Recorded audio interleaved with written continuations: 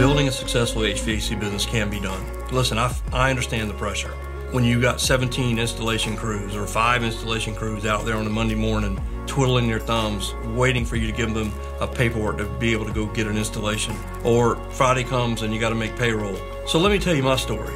Right out of high school, I'm sitting in church with my mom, and she tells me, Son, clearly you're not college material. And I'm sitting there, and my Sunday school teacher hears her say that, and he turns around and says, DeWayne, uh, why don't you come down to our office? I'll give you a job tomorrow. So, first day on the job, Charleston, South Carolina, called the Low Country.